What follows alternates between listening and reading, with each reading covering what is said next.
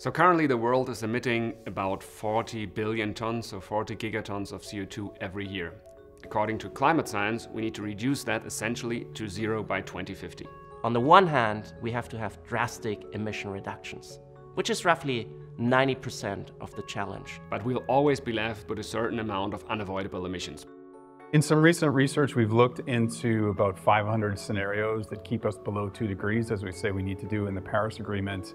And almost every one of those scenarios, we need gigatons of carbon removal. If we succeed at everything, if we succeed at efficiency and renewables and nuclear and electric vehicles and buildings and hydrogen, if we succeed at all of that, we will still need 10 gigatons. That's 20%.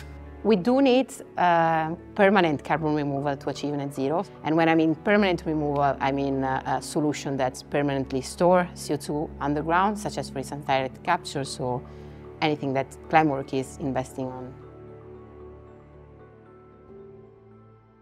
The advantages of Climeworks direct air capture technology, one is compared to other carbon dioxide removal technologies, it doesn't use arable land, that's important. Second, it uses energy, but that's becoming something that we can access with cheap renewables, so that's becoming really important.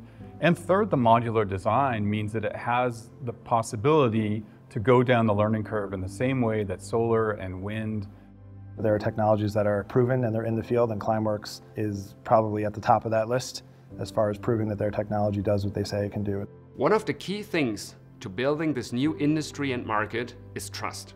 At Climeworks, we have established the world's first full-chain certification methodology, and we are delivering third-party verified carbon dioxide removal. As we look forward and we get into the part where we need removals and we need more removals than was previously projected because we are just so slow with the reduction, we need this tool to become available to us and the only way it becomes available in a material way is if we do the investments behind it now. Most of the carbon removal capacity that will be online and available in 2030 will have been designed by 2025. It's an urgent need because we need to see the demand now for these markets to truly scale and get capital off the sidelines.